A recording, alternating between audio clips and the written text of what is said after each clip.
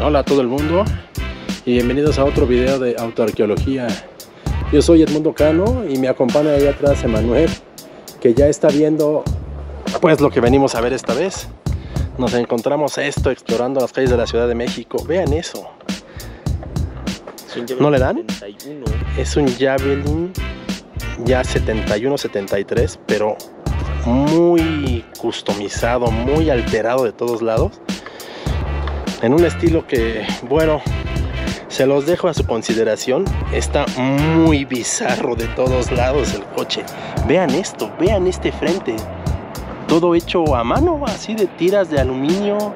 La fascia inferior también es una pues, lámina así cortada. Los hot Sí, los, los, los, seguros para el cofre. A los lados, miren estos estribos que tiene aquí, que deben ser fibra de vidrio.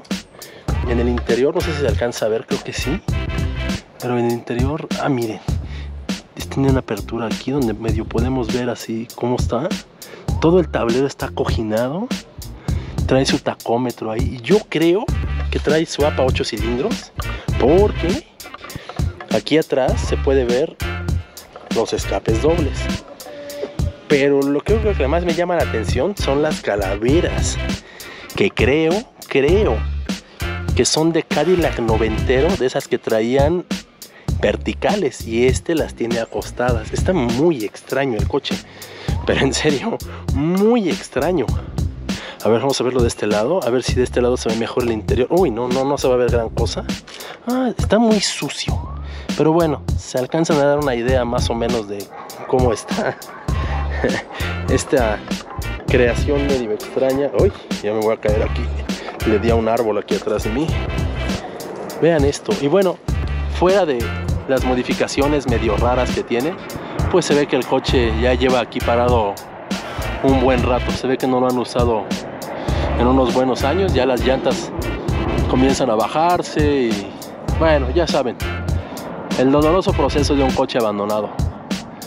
Pero este pues me llama mucho la atención que, lo, dejen, lo dejen abandonarse porque pues tiene una chamba encima. Que les guste o no, bueno, eso ya es otra cosa muy distinta. Por favor, si saben dónde está este coche, no lo divulguen en los comentarios para que su localización se mantenga lo más privada que se pueda. Y por favor también eh, suscríbanse al canal de YouTube y píquenle a la campana y todo eso para que les lleguen las notificaciones porque estamos, estamos subiendo videos así como este de diario. Nos vemos en el que sigue.